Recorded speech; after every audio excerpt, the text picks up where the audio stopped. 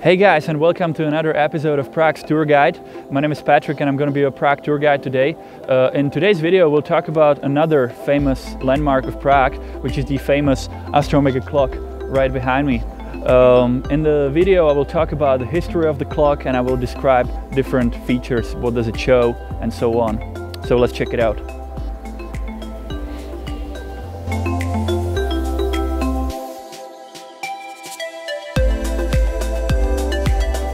So we're standing here at the Old Town Square and the building behind me is the Old Town Town Hall that was built in 1338. It's the first town hall ever built in our country. Um, the clock itself was built about 70 years later in 1410 by a Czech clockmaster Nicholas of Kadaň and until today it remains the oldest active astronomical clock in the whole world.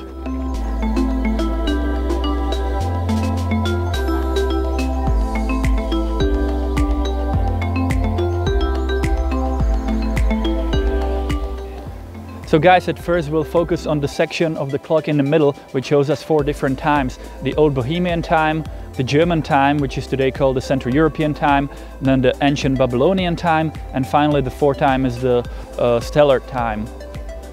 So the Old Bohemian time, which we used here in Middle Ages, uh, is represented by the golden Arabic numbers on the black background. It's the outer, outer black circle and the golden hand is pointing to number 23.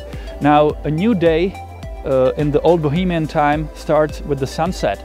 So 23 means that it's only one hour until the sunset from now. Next to it, the golden Roman numbers on a blue background is the Central European time. Back in the days, we call it the German time because it was used in Germany, and we switched to that time from the old Bohemian time in 1547. The Central European time is quite simple, that's the time we use uh, today. So it's uh, uh, quarter quarter past three. Then the ancient Babylonian time, the third time, is represented by the black Arabic numbers on the blue background. It's in the inner circle. Also notice there are golden stripes and cre creating 12 fields. Now the ancient Babylonians, they would split the day into 12 parts and then they would watch the sun as it, go, as it goes through these parts of the day and that way they would tell time. Uh, so you have the symbol of the sun, then the 12 fields created by those golden stripes and one black number in each field. And uh, as the sun passes by, it tells us what part of the day it is. So guys, I think it's pretty cool that the clock also shows us the position of the sun. Uh, you know that blue color on the clock represents the sky and then we have the symbol of the sun and it passes through the sky. So soon it will reach that red color, which means the sunset. There's a Latin inscription, Occasus, which means sunset. And then it goes around and it rises on the left side, which represents the east, and it rises up and there's a sunrise. There's Latin inscription, Ortus, which means uh, sunrise. So it tells us the position of the sun on the sky and the sun also helps us read zodiac because zodiac is represented by that little circle within the circle and we have different zodiac symbols on it and the symbol of the sun is now in one particular part one one zodiac and that way we read the zodiac. And then we have the symbol of the moon which is the half black half silver ball. If it's all silver toward us it's full moon. If it's all black toward us it's new moon. If it's cut in half like this it means that only that part that's silver toward us is visible so it shows the the face of the moon and its position. So as it is now quite below, it's quite, uh, it's uh, on, on the black part, it has the black background. It means that the, the moon is below the horizon, so we can't see it. Now guys, as you can see, people are gathering here. Uh, there's gonna be a show, you know, there's a little show every hour on the hour and it lasts about one minute.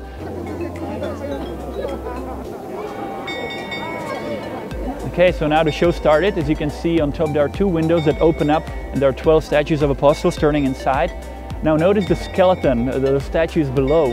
Uh, the skeleton rings the bell and turns the sand clock. He represents death and he's telling us that we're running out of time. To the right of him is a Turkish man with a guitar. He represents the joys of life and he's shaking his head, refusing the death. Then on the left part, you can see a, a greedy man with a pouch of money and a stake. He is also shaking his head. He doesn't want to lose his fortune. And next to him, the symbol of vanity, who wants to check himself in the mirror. He has no clue that the death is coming. And uh, at the end of the show, you'll notice the rooster uh, crowing. Uh, it announces that another hour of life has begun, that we all survived. So this is it guys, I hope you enjoyed it. This, Bravo! this show was actually rated as the third most disappointing tourist thing in Europe. Uh, number one was Mona Lisa and number two was Little Mermaid statue in Copenhagen.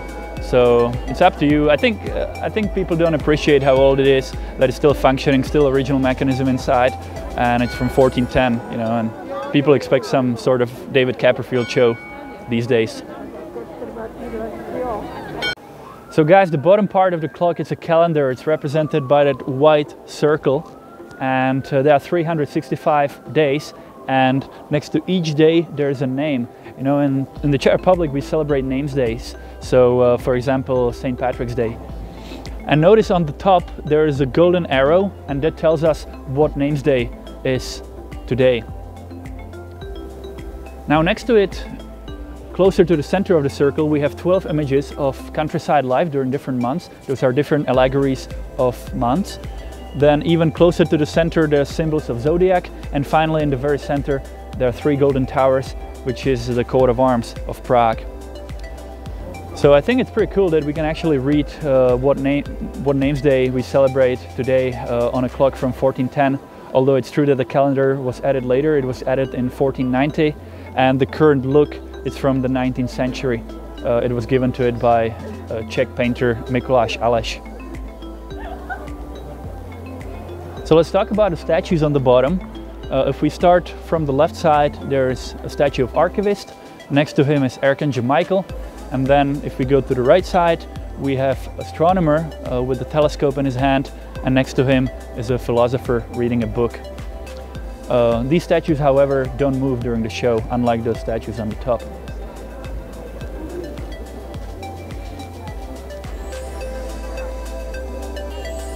So guys, this is the end of our short tour about the Old Town Astronomical clock. I hope you enjoyed it. Thank you for watching. Uh, now, uh, if you'd like to book a tour in person, either with me or one of my colleagues, you can go to our website, lucytours.com. Uh, as always, you'll find the link to our website in the description below the video. So thanks again and uh, I'll see you on our next tour. Take care guys.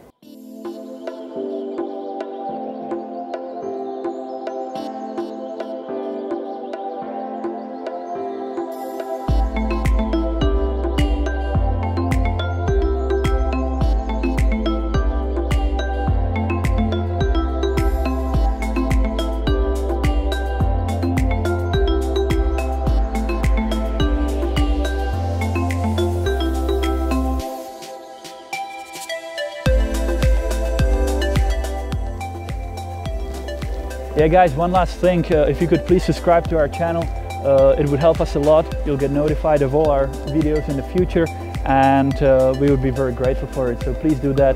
Uh, you'll find the, uh, the, the button below the video. Just by clicking on it, you get subscribed and it's gonna help us a lot. Thank you. Bye.